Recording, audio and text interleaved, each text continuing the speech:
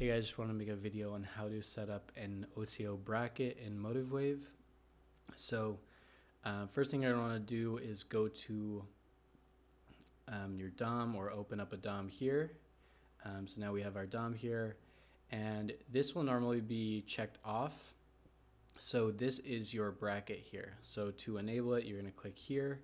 This will enable the bracket. By default, it's going to have a bracket 1, bracket 2, uh, bracket 3, I believe. And so whatever one you have selected is what is going to be on the chart. So you can see I actually have a like a two point stop, 10 point target here. Um, you can see that showing um, here in the orders. So, and then I have a scalp. So to create your own bracket, you're going to go up here to DOM preferences and go to exit strategy. So you can see I already have these three. I'm going to add one so we can see what it looks like. And let's just do, I'm just going to call this five point stop loss, five point target. And to do this, by default right now, what we're seeing is we have the quantity, it's set to 33%.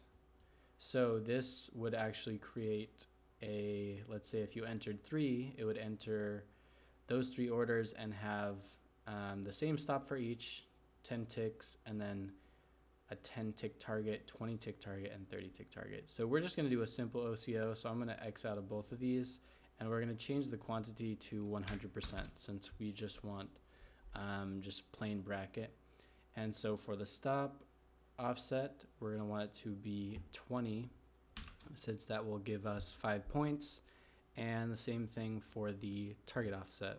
We're going to put 20 and that's pretty much it. You can change the stop to trail, stop limit, uh, MIT, but stop is going to be the most reliable. Um, and then just, I'm just going to leave that at limit.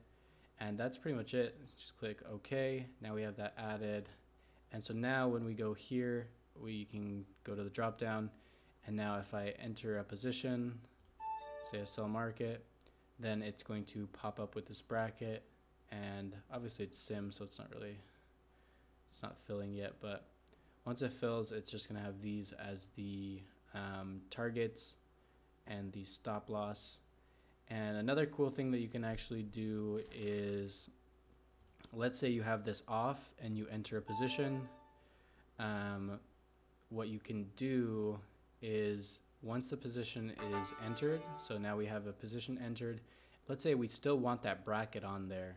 So we can turn this on and click this um, paperclip and that will actually put those brackets onto that entry. So we can enter and then after the fact turn this on and link the um, bracket there, which is kind of cool.